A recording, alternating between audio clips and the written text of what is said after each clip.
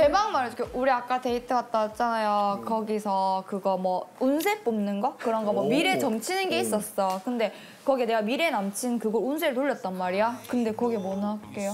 어어 아까 그거 어 그래 뭐 나왔어? 이거를 아- 이거를 안 알려줬었어. 어 뭐야?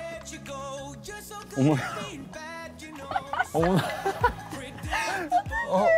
뭘까? 옆에 있는 사람 뭐 이런 거 뭐야?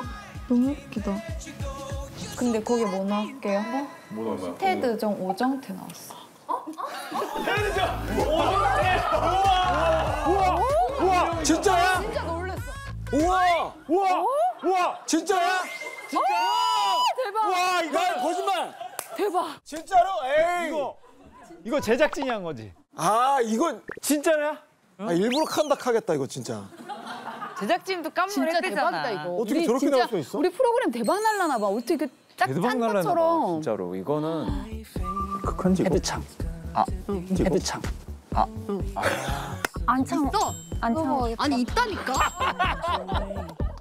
어, 우리 닮았다 그랬잖아. 나 진짜 놀랬어. 운명이지